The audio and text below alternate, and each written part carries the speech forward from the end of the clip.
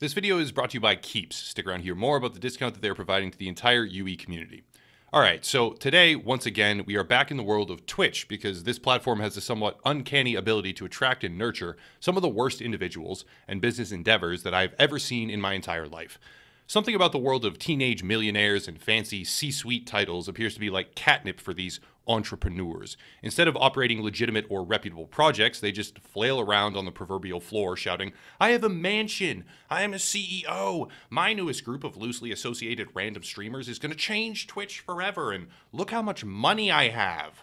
It's pathetic. The culture is pathetic, the results are pathetic, the ideas are pathetic, and the whole thing is just a bunch of teenagers chasing clout so hard that they can't even see they left the path hours ago with no food, no water, no compass, and a hard on for narcissistic praise that will put them at the bottom of the social barrel for years to come. Suffice it to say, I think the culture on Twitch has taken a pretty sharp nosedive in recent years, and I don't see that changing anytime soon. But that's not the point. The point is, we have a new up and coming reality show to talk about called Twitch's Most Eligible. Twitch's Most Eligible is basically a worse version of The Bachelor. The idea was pretty simple get a bunch of low viewer count, highly attractive female streamers in a secluded mansion and have them compete over a high viewer count, random male League of Legends streamer. Any red flags yet? No? Okay. The show was primarily operated in these early stages by Matthew Pelletier. Pelletier, I don't know how to say that, and I don't care, which could be gleaned from their official website, which also heavily utilizes the Twitch official branding. Did Twitch approve this? Is Twitch backing the project? Probably not, but there it is. Matt is also on LinkedIn, and I would like to add that for like over a week at least now, I've had people emailing me about this show because it seemed fake, possibly predatory, and at best extremely sketchy. Well, on LinkedIn, Matt is listed as the founder of Giron Media LLC in Florida. On their official website, utilizing the Twitch branding again, there is reference to Matt's Reality TV, which was founded in 2021. Except neither Giron Media LLC nor Matt's Reality TV are actual companies in the state of Florida. They don't exist. Not only that, but I also checked the state of Kentucky, I'll explain why in just a minute here, and found nothing there either. And eventually, attempting to be thorough, I checked the entire United States. These companies do not exist that I could find. They might be out there, correct me if I'm wrong, but even if they are, that's just the beginning. Now, side note, have you ever gotten so stressed that your hair fell out? There's probably some pretty horrifying stuff you have to deal with outside of all this, if that's the case, but that's not the point, because the hair falling out, we can fix that. Keeps. Keeps can help prevent hair loss, which two out of three men above the age of 35 suffer from. Also, according to my Big Brother data harvesting YouTube analytics page, shout out to Big Tech, not really, I actually hate Big Tech for the most part. Anyway, pretty much all of you watching this right now are men between 18 and 45. Anybody else, get the. I'm kidding. I appreciate you. Keeps can be delivered right to your home with no doctor's visit required, and through the link down below, keeps.com slash UEG, you'll get 50% off your first purchase. Some men even experience hair growth while on Keeps, so if you have any need at all, any in the universe, maybe also try to fix the underlying stress factors of life's problems that landed you here too. But if you are losing your hair, make sure to use the link down below for 50% off your first purchase. Again, that's keeps.com slash UEG. More five-star reviews than any competitors. Big thank you to them for sponsoring the channel. Setting aside the fact that this website is very, very low effort and contains excess duplicate information on numerous different pages, it was clear that the show had, shall we say, problems. Let's really boil it down to the core concept here. During a pandemic, a global pandemic, when there are travel restrictions on many people around the country and the world for that matter, this random man, who is apparently a founder of two companies that don't appear to exist at all, wants to gather a bunch of low viewer count, attractive female streamers in a faraway, secluded mansion where they will compete for one night, which is important, I'll come back to that later on, to what? Win the favor of a high viewer count male streamer? Can we acknowledge what's happening here, or should we just play along for a bit longer? Understanding the concept, we have to look at the people who are actually approached. Keep in mind, I was receiving emails such as this right here from some of the streamers who were being recruited into this reality show. The male streamer profiles that were listed on the website, now removed by the way, were X Hazard and Wings of Death. Wings of Death is the focus here because he is number one, a streamer with very high viewership, number two, an apparent bachelor in the show, and three, he had actually declined to participate in the show and was under the impression that they had created a private mock up profile for him that was not visible to the public. Wings of Death has cited concerns of timing and generally just did not want to be a part of the program, to which Matt, quote unquote, had asked to make a profile anyways as an example which would not be visible to the broader audience. Nope. He made a profile, put it out to the public, and many people began to assume that Wings of Death would be one of the bachelors at a secluded mansion where a bunch of low view count female streamers were flown in specifically to compete in a totally innocent, 100% not sketchy, fantastic reality show that isn't run by someone with two businesses that appear to be fake. Still not done. The mansion, the billionaire's palace, is an Airbnb in Kentucky, hence why I checked the Kentucky Secretary of State archives for the business registration after Florida. And thanks to BxBullet, some of you may remember that name from another video I did where she uncovered a great deal of info on a serial scammer who, surprise, surprise, operated on Twitch while hiring hackers to attack people he didn't like. But, anyways, thanks to BxBullet, I was able to learn that someone from the show's Discord server and another investigator named Zach Bussey, who has an abundance of information on this subject across all of his Twitter, which helped me create this video. So, shout out to both him and BxBullet. I will link their social media profiles down below.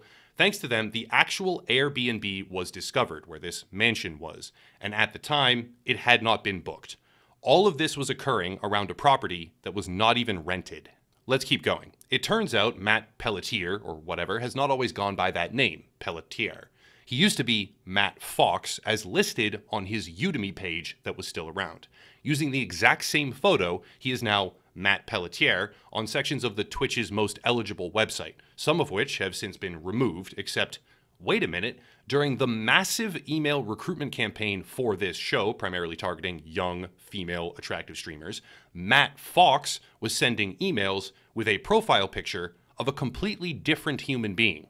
Furthermore, this is around the time where the official Twitch's most eligible Twitter account began to post things like this, because what you really want when flying out to a secluded mansion in the middle of nowhere during a global pandemic is to have the founder of the show, who has two businesses which don't appear to exist, and two names with different pictures but are clearly designed to be the same person, just an alias, to start hitting on you.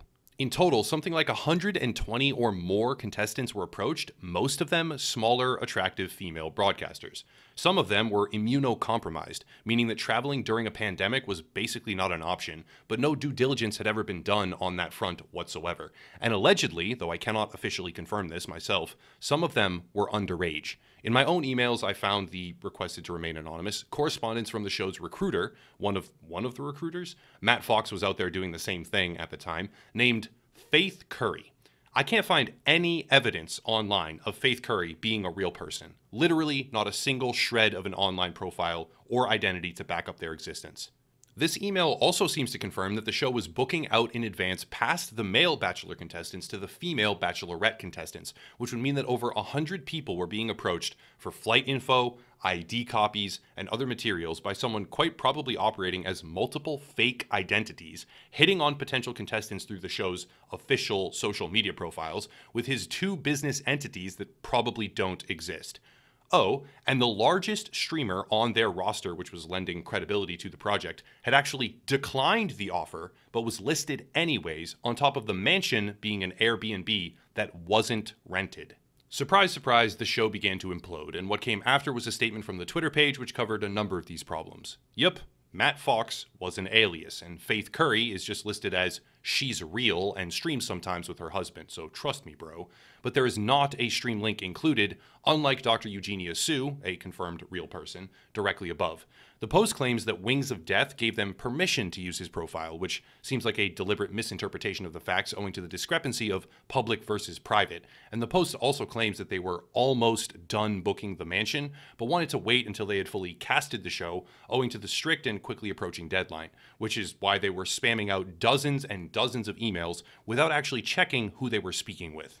The statement concludes by saying that the show will close down until they can figure out how best to proceed. Probably a really good call, but now I want to discuss why this entire concept is dead in the water because there was a complete lack of any legitimate ROI, and the whole show just would hemorrhage capital until it died.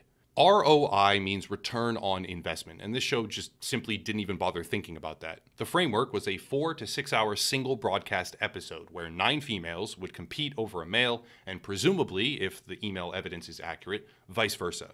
That's idiotic. Reason being, this requires 10 separate people to be flown out to a remote mansion just for a six four to six hour broadcast. The broadcast would be on Twitch, which avoids the standard ROI for dating shows on actual networks, and would be focused on 9 out of 10 small broadcasters who cannot pull in metrics based on their own name. Also, it totally voids the concept of a drawn out audience attachment loop with regard to individual characters. It would be a blur of pretty faces. You probably couldn't even remember everyone's name, honestly, and then on to the next with a whole new cast. That's not a viable dating show framework. This means that either the show itself or the bachelor slash bachelorette would need to be the primary driving force behind their viewership, because despite their email framing, a five figure marketing budget is absolutely nothing when you consider that the average cost of a single episode is going to be 10 or more round trip flights, a mansion, the advertising, food, production equipment, and so much else that you really cannot even properly plan for. This doesn't even take into consideration all of the legal and various different procedural hurdles that you have to consider when you're doing a show like this. Like on MTV, when you see some reality show, there is a tremendous amount of support staff. You have to have medical people on site, you have to have all sorts of other things that are ready to go, a whole bunch of different legal documents need to be signed, releases of liability, etc all of that stuff was not happening here. The production value or production costs, I should say, associated with something like this are tremendous, and you are not going to recoup your investment with this model. These episodes would need to make tens of thousands of dollars each, and I'm not talking low tens of thousands, probably high tens of thousands every single time without fail. And they would need to do so based on the non existent social following of the show's producing company, the five figure ad spend, as if that's impressive, or the broadcasters who were being taken advantage of in a concept that is so poorly planned, or flat out fake, more likely, that it was built upon false identities and likely fake companies Oh, and it's a global pandemic on top of that, so traveling is a pain in the ass, and safety precautions would further complicate the show if done properly, which leads me to the safe assumption, honestly, that they likely wouldn't have bothered. Bottom line, Twitch's most eligible is an absolute disaster. A disaster rife with false names, false claims, and false credibility on top of that. The show had no legs from the get go. The concept felt more like a scam to harvest personal information than an actual dating show with potential or any sort of future. And from top to bottom, the idea of flying out a bunch of small view count female streamers to compete whatever the hell that would actually mean in the context of this show, over a high view count male broadcaster for one night it just hits the ear wrong, especially when the show's founder is hitting on people and using fake identities to spam email dozens of people about flying to a property that isn't even booked during a global pandemic at or near rock bottom. Oh, and also the biggest profile associated with this show, like the biggest broadcaster, had actually declined to be involved. One out of 10, bad concept. But that's it. If you want to support, there are links down below. Please consider checking out Odysee. It's just a YouTube alternative, and watching my content there is very rewarding for me as a creator. Also, it's a great platform with a bright future, etc. Also, locals, you can subscribe for $5 a month. I upload the audio for the videos and ad-free versions over there as well, plus another YouTuber to check out, merch, social media, also Keeps, link down below, etc., etc. You get the point. I'll cut it there and stop rambling. As always, thank you all for watching, and have a nice night.